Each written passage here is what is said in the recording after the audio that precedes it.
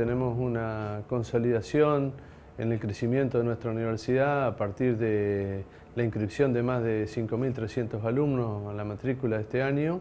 que están culminando o desarrollando sus procesos de ambientación en cada una de las facultades, así que estamos muy contentos con eso. Y destacamos especialmente algunas carreras que tienen una matrícula muy importante, como la tecnicatura en lengua de señas,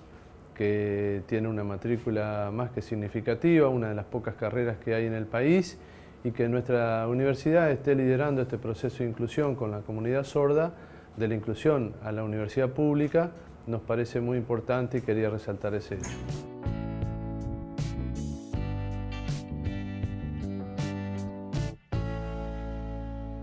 Sí, a partir de la donación del terreno a través de gestiones que hizo la propia facultante, el gobierno provincial y el gobierno local,